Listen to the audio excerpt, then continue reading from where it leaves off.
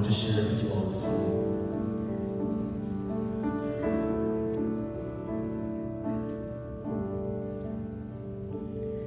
The